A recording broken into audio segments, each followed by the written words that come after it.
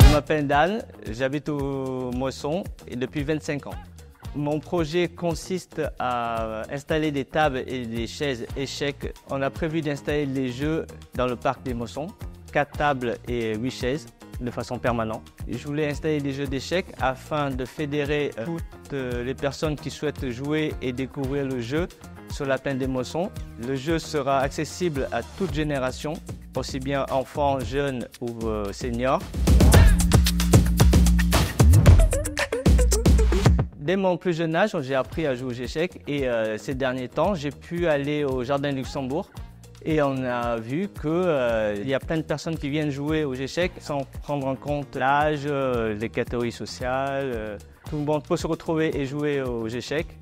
Et ça m'a vraiment plu qu'il y ait un échange intergénérationnel qui peut se faire. Et c'est ça que je veux faire découvrir aux habitants de Vauréal. Le jeu d'échecs, c'est un jeu qui, euh, qui, doit être accessible à tous.